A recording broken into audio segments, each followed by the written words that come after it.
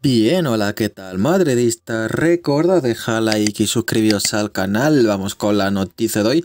Ojito lo que confirma Ramón Álvarez de Mon, porque está existe la posibilidad de que Odegaard vuelva al Real Madrid. Es bastante complicada, pero según Ramón dice que hay una especie de derecho de tanteo para el Real Madrid que ya veremos si en algún momento tiene sentido que lo ejercite.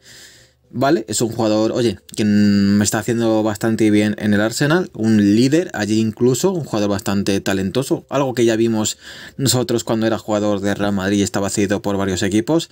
Al final se quiso ir del equipo blanco porque no iba a ser titular y se fue al Arsenal. Al final entre el Madrid, que le costó 3 millones comprarlo, venderlo 40 más algunas cesiones, estuvo más o menos en cerca de los 50 millones de ingresos Así que veremos si Real Madrid en un futuro, teniendo contrato hasta 2025 con el Arsenal, quiere ejercitar ese derecho de tanteo para intentar volver a traerlo. Pero a mí me da la sensación de que el Madrid está pendiente de otros jugadores, como puede ser Bellingham, luego el centro del campo Macho Amenika, Mavinga, Valverde, entonces Odegaard no tiene tanto espacio aquí, a no ser que haya alguna sorpresa en el centro del campo en los próximos años, lo veo complicado, aunque siempre digo que el mundo de fútbol da muchas vueltas y quién sabe, al final es un jugador que está haciéndolo bastante, bastante bien en su equipo, el Arsenal, así que no hay que descartar nada, pero yo lo veo complicado a pesar de este tanteo que tiene el Real Madrid como derecho sobre este jugador.